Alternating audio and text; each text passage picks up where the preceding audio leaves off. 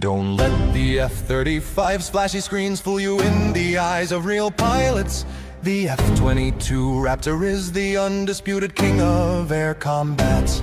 When this beast takes to the sky, enemies face only two outcomes. Either they have no idea it's even there, or they've already become a fireball in the sky. As the world's first generation fighter, the Raptor is the perfect marriage of raw power and stealth. Its radar cross-section is smaller than a marble, which means while enemy radar screens are still showing nothing but static, the Raptor has already locked onto its target from over 60 miles away, this isn't a fair fight.